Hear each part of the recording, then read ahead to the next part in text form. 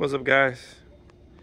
So this is a 2022 Silverado uh, with the multifunctional, I guess they call it, tailgate.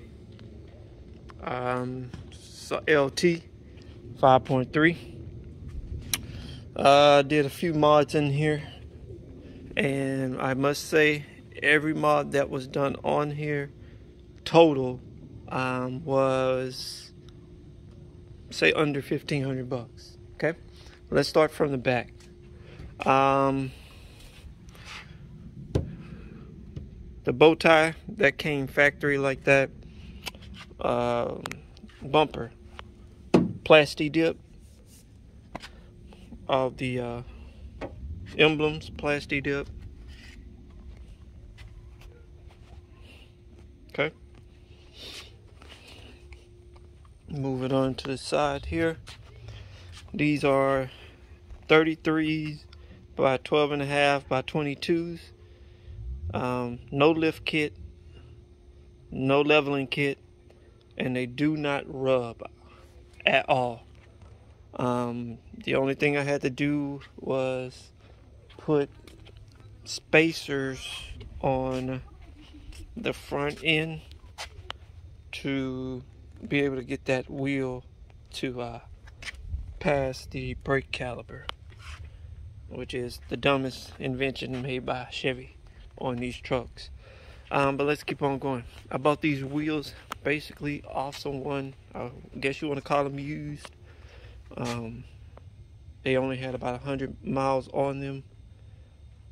Uh, bought those for 1200 yeah so let's keep on moving forward here. Um, bought these running boards from Amazon. Um, I wouldn't have gotten running boards but my kids get in and out of the truck so they needed something so I bought those. Eventually I'll switch to something else. Uh, let's moving forward. Simple things. Chrome little button that's been blacked out with plasti dip. Mirrors.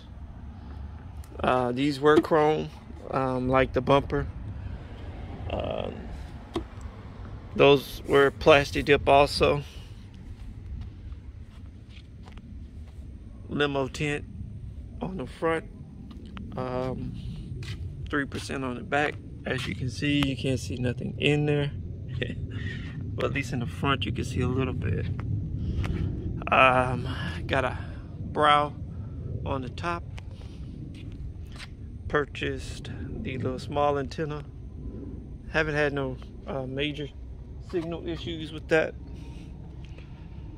Uh, uh, once again those are the 22s as far as the poke goes I feel it has a perfect poke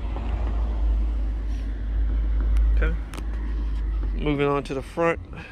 Bumper was chrome, blacked it out, plasti dip. Grill piece, blacked it out, plasti dip. License plate, of course I'm not to show y'all. There's a custom license plate.